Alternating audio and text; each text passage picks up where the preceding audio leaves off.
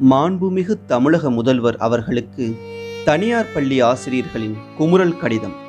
ஐயா நாங்கள் கடந்த ஒரு வருடமாக வாழ்வாதாரம் இழந்து தவிக்கின்றோம். கற்றோருக்கு சென்ற இடமெல்லாம் சிறப்பு என்றார் ஔவையார்.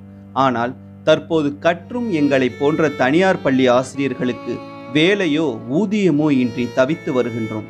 இதே நிலை நீடித்தால் எங்களின் எதிர்காலம் கேள்விக்குறியாகிவிடும். அது மட்டுமல்ல எதிர்கால இந்தியாவின் தூண்களாகிய மாணவர்களுக்கு கல்வியின் மேல் உள்ள பற்று குறைந்துவிடும். காரணம் ஆசிரியர்கள் புத்தகத்தை மட்டுமே போதிப்பது இல்லை. அதனுடன் வாழ்க்கையையும் தான் சேர்த்து போதிக்கின்றனர். தனியார் பள்ளியில் பணியாற்றும் ஆசிரியர்களாகிய நாங்கள் எந்த விதத்தில் குறைந்து விட்டோம்? நம் நாட்டின் கல்வித்தரத்தை உயர்த்த அயராது பாடுபடவில்லையா? மாணவர்கள் பாசானால் மட்டும் போதாது நல்ல மதிப்பெண்கள் பெற்று மருத்துவர் ஆட்சியர் பொறியாளர் பட்டய கணக்காளர் போன்ற பல உயரிய பதவிகளை அடைய வேண்டும் என்று நாங்கள் அவர்களுக்காக உழைக்கவில்லையா? நாட்டின் கல்வித்தரம் உயர தனியார் பள்ளிகள் வேண்டும். ஆனால் தனியார் பள்ளியில் பணிபுரியும் ஆசிரியர்களின் வாழ்வாதாரம் என்ன ஆனது? தயவு கூர்ந்து அரசு எங்களை பற்றியும் சற்று சிந்திக்க வேண்டும்.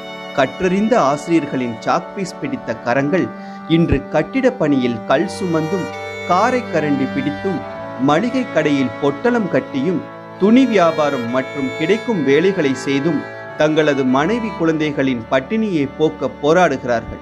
கணவனை இழந்த பெண் ஆசிரியர்கள் செய்வதறியாது வேதனையில் உள்ளனர். ஏன் அரசு இதையெல்லாம் நினைக்காமல் உள்ளது? ஏன் எவரும் தனியார் பள்ளி ஆசிரியர்களின் வாழ்வாதாரம் பற்றி நினைப்பது இல்லை? அரசாங்க ஆசிரியர்களுடன் ஒப்பிடும் பொழுது எங்கள் வருமானம் மிகவும் மிகவும் சொற்பமானது. அரசு பள்ளிகளுடன் ஒப்பிடும்போது மாணவர்கள் அதிகம். ஏன் நாங்கள் படிக்கவில்லையா? எங்களால் மாணவர்கள் பல துறைகளில் சாதிக்கவில்லையா? ஏன் இந்த வேறுபாடு? கடந்த ஒரு வருட காலமாக வேலையின்றி தவிக்கும் எங்களை சற்று திரும்பி பார்க்க வேண்டும் இந்த அரசு.